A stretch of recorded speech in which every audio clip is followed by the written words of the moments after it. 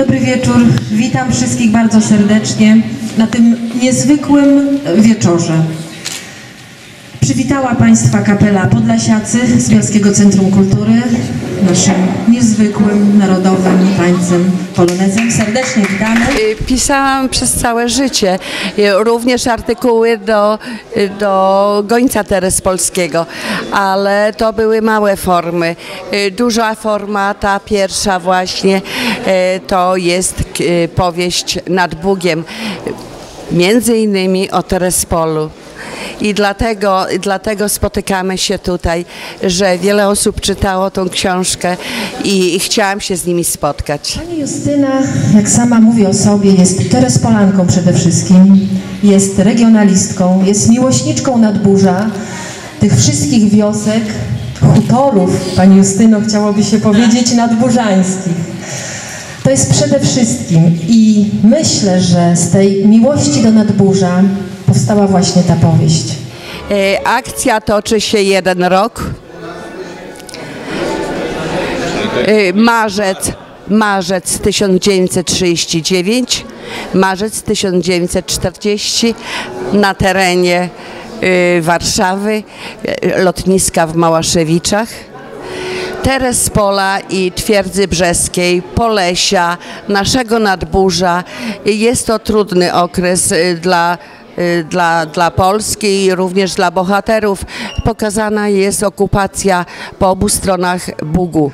Y, Po, po jednej sowiecka, po drugiej niemiecka. Ta książka, y, tak jak chyba każdy autor ma to gdzieś tam w zanadrzu, gdyby ją sfilmować, to jest gotowy pomysł na film, nawet y, w kilku odcinkach?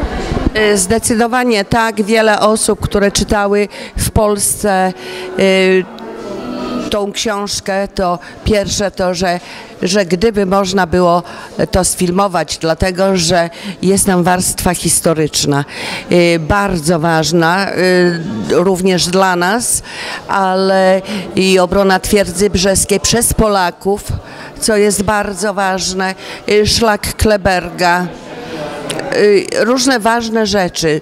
To, co chciałam powiedzieć, to ważne rzeczy y, ponieśli moi bohaterowie. Wszystko się zaczęło od piosenki Samotny stoję nad Bugiem. Jest to ważna piosenka dla nadburzan. Bardzo ważna. Y, dlatego, że mówi o tym, że w pewnym momencie we wrześniu 1939 roku y, ludzie zostali, rzeka Bóg podzieliła rodziny, kochanków i tak dalej. Niestety nakład się skończy, już kończy. Ja jestem zadziwiona, czytają całe rodziny. To nie jest tak, że ktoś książkę ma w ręku i przeczytał ją. Całe rodziny, całe, czyta, czytana również była na głos, nawet w rodzinach. Y, I nie wiem, y, dalsze losy są pisane. Natomiast drugim bohaterem jest jej brat, pan Lech Mazur.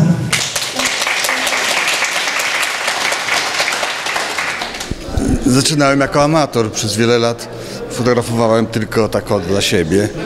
Z czasem to hobby przeistoczyło się w pracę zawodową i przez jakiś okres prowadziłem zakład fotograficzny w Terespolu. Potem warunki ekonomiczne spowodowały, że zakład zamknąłem. Zająłem się inną działalnością gospodarczą. Potem ta dzia- działalność się skończyła, emerytura, dużo wolnego czasu, więc trochę bardziej się zaangażowałem w zdjęcia. Należę do fotoklubu podlaskiego przy Miejskim Domu Kultury w Terespolu. Też sporo tutaj udzielam się. Co widzimy na zdjęciach? To, jaki to jest okres pana pracy?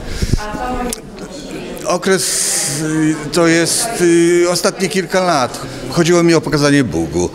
Tytuł książki y, autorki dzisiejszego spotkania nad Bugiem. No i moje zdjęcia też nad Bugiem, bo wykonane są nad Bugiem.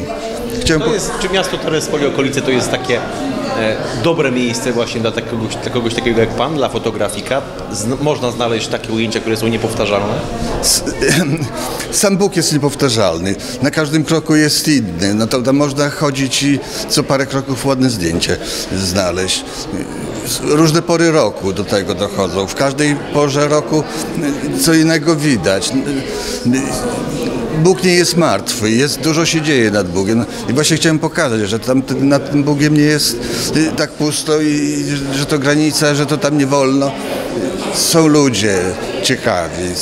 No, Warto, warto być nad Bogiem. Te zdjęcie, wykonywanie zdjęć nad Bugiem, e, uważa Pan, że zdjęciami można oddać piękno tej rzeki, ducha tej rzeki, czy jednak warto też samemu podjechać i zobaczyć? Obowiązkowo trzeba być nad Bogiem, tego zdjęcia nie pokażą.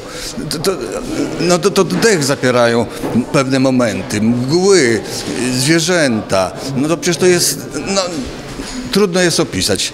Najciekawsze zdjęcie według Pana, które jest tutaj na wystawie. A tu każde jest ciekawe, bo każde zdjęcie przedstawia jakąś historię. To nie są zdjęcia przypadkowe. To o każdym zdjęciu to można... Nie, nie książkę, ale opowiada, krótkie opowiadanie, no bo to każde zdjęcie to jest, to jest jakaś, jakieś wydarzenie. No. Pierwszy z brzegu. Proszę bardzo. To, Opisz mi to zdjęcie. to jest zdjęcie zrobione w Sugrach. Koło Kodnia. Spotkałem naszego znakomitego malarza, pana Stanisława Baja. Malował nad Bugiem, proszę bardzo. Z tej, z tej strony trudno go poznać, no ale to... To nie, to mnie chodziło o sam fakt, y, że ktoś maluje, no, a tutaj tłumaczę, że to jest y, profesor Baj. Y, No ale mi chodziło tylko, żeby pokazać, że, że są tak piękne miejsca, Miejsca, osoby, sytuacje.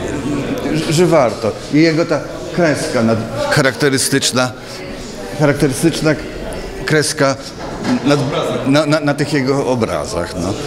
Nasza piękna Szwajcaria, Napelska, no, tu jest kilka zdjęć, no, o każdej porze roku jest przepiękna. No, Ciekawe zdjęcia, gratulujemy oka, bo to chyba też oko jest ważne tutaj.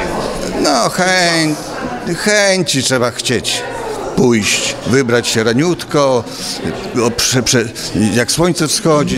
Siostry obdarzeni niezwykłą wrażliwością i mamy szczęście, że są wśród nas, że żyją wśród nas, że dzielą się z nami swoją pasją, że my ich, możemy ich po prostu u siebie mieć, widzieć i widzieć owoce ich, ich miłości, ich pasji, literatura i fotografia.